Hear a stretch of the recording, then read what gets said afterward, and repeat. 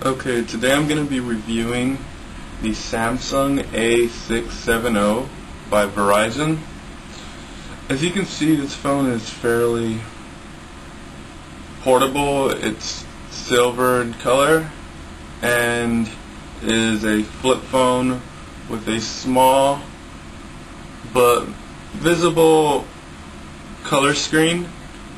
Um, the buttons also light up so at night it would be so making it easier to find your contacts and stuff. Um, this particular model, as you can see in the front, comes equipped with a camera which can be used to take still images or small uh, video clips. Um, there's a few setbacks though with this phone.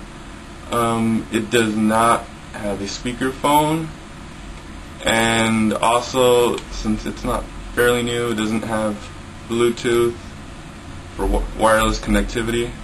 Um, other than that there's a bunch of features that let you put ringtones wallpapers and all that good stuff so it's, it's a fairly good phone. I've had it for a few years but if you want the new MP3 playback and all that V CAST stuff, you're going to have to upgrade phones.